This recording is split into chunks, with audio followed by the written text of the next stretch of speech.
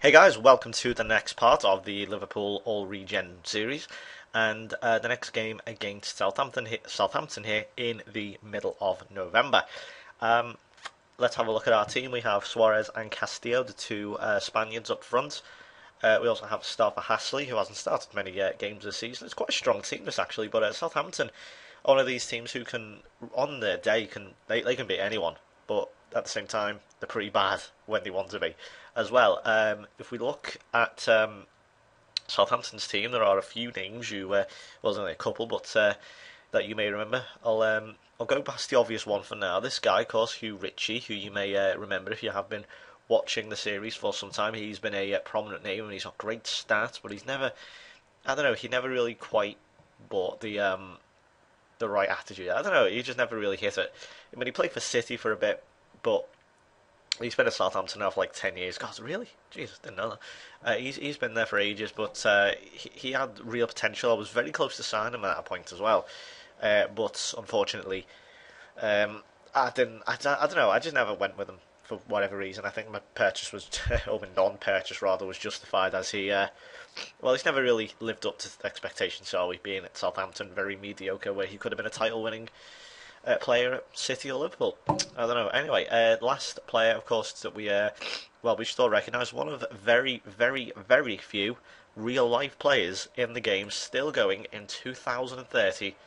It's Jack Butland. Yes, the uh, goalkeeper who has uh, recently been called up to England's Euro 2012 squad, and hopefully I'm not out of date when I do this. Hope to God he hasn't been injured, because then I'm going to sound like an absolute idiot.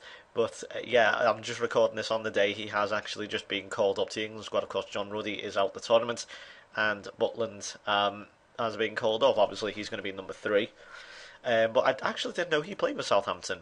He's only been here for wow made 61 appearances. That's the most. I've never seen that. I've never seen 61. I don't even think Rafael Ramirez has played that many in one season. But he's only been here for a while. He was at Chelsea, as you can see, for a very long time, for over 10 years. And he stayed at Birmingham for quite some time now, again, 10 years.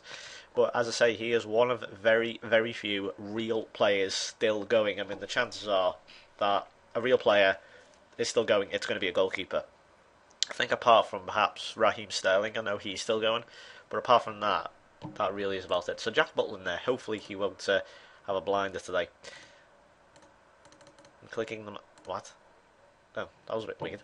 Anyway, let's get on to it then. Uh, it is at St Mary's, so this could be a decent game, but hopefully we should be too much for them. They are currently in the middle of the table, are Southampton. And, um, yeah, so they're, they're not doing that great. Um, so hopefully, yeah, let's just see. I'm just trying to, uh, I'm just trying to think what the what what what, I can expect from this because uh, the Southampton are so unpredictable. It's why I'm kind of just struggling every word to it because Southampton are very unpredictable. I don't know what to expect from them if I'm going to going to be honest. You know, on the day, I mean, as I say, they can turn up, but at the same time, I've beaten them five or six nil, and the team hasn't really changed that much. If I'm going to be honest, I mean they've still been this mid-table team, and I think they will. I think that's what they're going to be like. I mean, they got promoted. I think. God, when did they get promoted? Quite a while ago. They've been in the Premier League for a while. Um, mean, obviously, it's a completely different team to what they are in real life, of course. Like Sir Adam Lallana and so on, all have moved on for now. But here's Hasley puts it over the bar. Great build-up play, but uh, unfortunately a terrible finish. Uh, yeah, and you know Lallana moved on quite quickly. I think Ricky Lambert, well, he's quite Actually, how old is Ricky Lambert? I can't remember. I don't know. Whatever. But yeah, I mean, obviously all of them have retired now. But uh, you know, we are that far in. We are very much, uh, very much so, very far in. But uh, it's it's an interesting point to make how Southampton have stayed up, and Hasley is offside. He hit the bar, I think, there or the post. But I'm, I'm very curious as to how, how Southampton have stayed up because I think they they at a time looked quite possible to break into that sort of big six that I've talked about before. You know, the City, Tottenham, Liverpool, United, Chelsea, and Arsenal. Uh, and there's been several teams, believe it or not, two teams I would never have expected, and that's a terrible pass. And Ramirez, dear me, oh my God, it's absolute chaos. Simon Moore off the line there. Uh, and uh, yeah, we we um, oh I forgot what I was talking about now. Oh yeah, sorry. Uh, Huddersfield and Southampton were the two teams, and that's offside for Basto. Goodness me. So Southampton and Huddersfield are the two teams, as I mentioned. They look quite uh, possible at, at, times, but uh, I think they've faded away. Now Huddersfield is still putting up a decent fight. Uh, Newcastle are currently the, the team in pole position, if you will, for that sort of um, honour. You know, it's still early days, November, but then again, that's what I said like in uh, November of 2011 when I thought, oh, Newcastle, I'm going to stay the distance in real life in the Premier League. And look at that, they nearly got in the Champions League. Shows what I know. Let's have a look. Was he offside? Ooh, uh, yes. Is he? Or is that onside? I can't tell which one's which. I think he may have been on, you know. Of course, the game does still use um, real life, well, not real life, I suppose. You know, it does have human error. It is quite rare.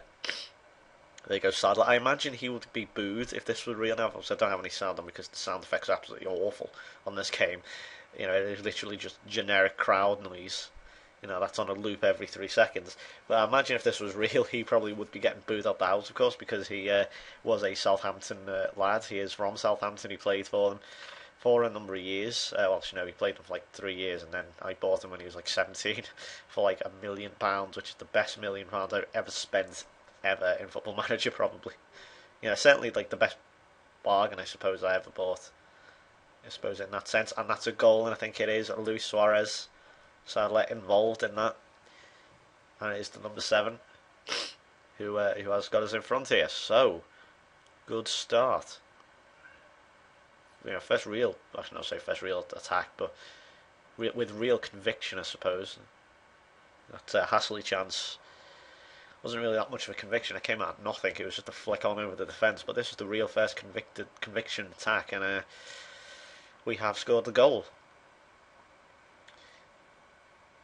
Now, uh, let's see. Oops, he's away again. Could this be two? Where's he going? Dear me, he got that one horribly wrong. That that is very uh, that was very Luis Suarez, very uh, like real life Luis Suarez. Um, because you know, I mean, how many if you ever watch him, how many uh, if he goes through on goal, he always try and go round the goalkeeper. Uh, uh, just watch him next season. Watch and even if if you get a chance to see him play for Uruguay, he will uh, he, he always tries to go round the keeper. I mean, we all know how tricky he is. I mean, if you ever watch him in real life, uh, you know, he, he tries to nutmeg everyone, you know, and he tricks everywhere. You know, he's okay. He's not Cristiano Ronaldo in the way that they don't get pulled. He doesn't pull them off every single time, like Ronaldo, pretty much. Um, but he still has, you know, a lot of tricks in the bag, and he does. To my some, to my opinion, sometimes he does overdo them, because there are times it's like, oh fuck's sake. Uh, okay. Uh, get ball forward. But yeah, with Suarez, it's like he, he sometimes does overdo his tricks, and it's like you know you just want him to go forward, and he tries to just nutmeg people. It's like no, we're one nil down. Stop trying these stupid tricks. And most of the time, he tries them in his own bloody half, which is even more infuriating. Where's the defence? That was poor. See what I mean about Southampton? They can't turn up. Sunderland were fairly similar. I think it's just black and white stripes. I just don't like them. Oh, Sadler. on this game. I just I, I can't play well against black and. Uh, I say black and white? Sorry, red and white. Dear me. I think I'm looking at I'm looking at it. I looked at the Liverpool thing, then it said black. So, or is the colour black? Anyway, here we go. Midfield's been pretty shit so far. Oh, Chad. Oh, Sadler. Oh, he pulls it across. Still nothing for him. Won't go in. He has scored many times against Southampton and Sadler. I think he scored a hat trick as well. Yeah, you can imagine that against your boyhood club scoring a hat trick for the club that you now suppose support. I guess. I mean, his favoured clubs are Southampton and, and Liverpool, so I suppose put them on equal footing in a way. Is Castillo and Suarez with the tap in? It's back to two. And uh, Castillo and Suarez, decent partnership. These two, I tell you, they they can spring a decent partnership when when they want to. I think they just need to like get used to each other. I mean, Fredinho's been off. He started well, Fredinho, but he's been off the boil. But these two now, you know, pretty similar age, and um, they can they can do well, the pair of them. And I'm excited to see. You know, I brought them in at the same time. I think they are to say roughly the same age, give or take a year or so. So yeah, I'm really uh, I'm really happy with what I've got here. Oh, and there's another one. It's been knocked in, and Hasley finally does have his goal because I've been waiting for him. He's had, excuse me, he had blasted the one over the bar at the start of the game. He's had one that hit the post but turned out to be offside. But now there you go. He knocks it in here at the back post. It's a ball across by Shimpy. It's a diving header. It's a great finish. And that's 3 1 in half time. Well, it looks like it was going to be 1 1 at half time. It's actually 3. Fantastic. So let's go to the team talk. Uh, just say pleased how things are going. Now, um, this has brought me on to something I, I, I wanted to talk about just really quick. I'll probably talk about it again in probably a few episodes' time or later on in the series when uh, we hear a few things about it. But uh, FM13, of course, it's the summer Premier League season's over. It's like, well, what next? Owen Castillo is offside.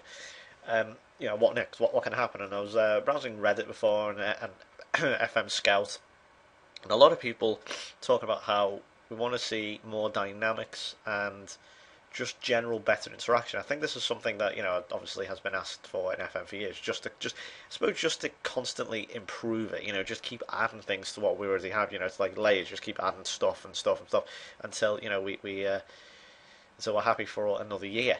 And I think that's what'll happen. You know, the interactions. I think the one that obviously everyone highlights, I suppose, is is um, press conferences. Everyone highlights these as quite you know oops, as quite chorish at times, and I agree with them. I think press conferences are pain; they are an absolute chore, and I don't like them. And either you know, change it to where interaction becomes fun again. You know that we can actually, you know, there's a lot of variation to the interaction. Oh, Suarez close, goes closer to us to his uh, hat trick there. You know, so make it like good. You know, we actually something we want to do. Otherwise, just get rid of it completely because I mean no, I mean they they seem to just wind you up half the time. Like I, I look at uh, like like it, it, you tell the assistant manager to do it. Like I tell Steven Gerrard to do it. No matter what how good they are, they will always come out with some stupid, idiotic response. You that no one will ever in the right mind say in real life. You know, say how does it feel to concede a goal in the ninety second minute? You can just when on earth would Steven Gerrard go? I feel distraught. When would he ever say that? No one in the right mind would say that. How on earth does Castillo miss that? You know, no one would ever say, I feel distraught. I just don't understand. I, I don't get it. It, it, it kind of baffled me, that one, to be honest. So, yeah, if you, if you, if you think, um, I agree, if you agree with me that that should be changed, please say. Another one, of course, as well, is uh, something big, is um, 3D match engine. That's always, you know, people want to see a new, a new one on that. I mean, I personally will probably still stick to 2D. Uh, I, I, I, might do. I'll, I'll see. I mean, we'll, we'll see how good the 3D match engine is. If it's similar to what we already have, then I'm probably still going to stick with 2D. And Castillo cannot score. I'm going to take him off then. Um, he's had a decent game, to be fair, Castillo, just couldn't hit the target. So yeah, they're the big two. Obviously, if you have other things you want to talk about, then feel free to say. I mean, there's plenty of other things that we can, of course, talk about that I'm not going to be able to fit in in the next two minutes or so. But uh, anyway, once we can finish this game absolutely off here with uh, one more goal Sadler to box it. Oh, and oh, Jagielka. I don't think that's the son of Phil Jagielka. of course not, because it always uh, shares similar surnames. But um, that was nearly an own goal. And there goes Fredinho now. Come on, box it in, and maybe we can finish the game off. Or Suarez to get his hat trick. No, I think that's going to happen, is it? But still, nevertheless, a good win. And now we'll have a look at the league table. It was pretty you know, they, they, they turned up for about half an hour, and then once that third goal went in, I think that killed the game off, to be honest. So there we go. Uh, Suarez man of the match 3 1 against Southampton after they brought it back to 1 1. Uh, looked like a decent game, but unfortunately, uh, we killed it off with two quick goals.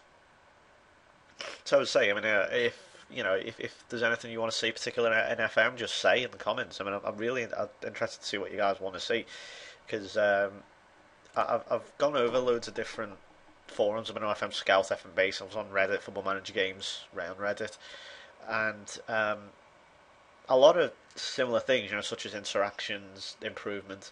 Um, you know, talking about press conferences, uh, transfer system improvement, even general layout improvement, editor improvement, uh, match engine improvement. So you know, all sorts of different things. I want to know what would you say the priority uh, in particular, but uh, yeah, um, just uh, give us uh, give us a comment if you want. You know, so I want to I want to see what the general consensus is, specifically above the um, about from the YouTube FM community, because I'm really interested to see what that is. By the way, there's one thing I want to say before I go. Ezekiel Alonso uh, is not happy. it's really difficult to give him football. He wants first team football, but that centre midfield is so competitive. It is brutally competitive, and I cannot give him first. It's like, well, I can, but well, I've put him in the reserves because he's a twat. But you know, it is so difficult to give him first team football at this sort of stage because you know, like, I mean, just go over the squad as well. You know, who is in the centre midfield? They've got Masari, Lopez, Brown, Matei, Meyer, Guyan, and Maloney. So that's a lot of players. Anyway, uh, that's just an idea of what I've got to uh, what I'm going to do. So leave your comments on what you think uh, should be the main thing in FM13. What's the priority? Um, I'll leave you with this look at the league. And with that, I will see you next game, which is going to be against Derby. So hit that like button, and I will see you next time. Bye bye.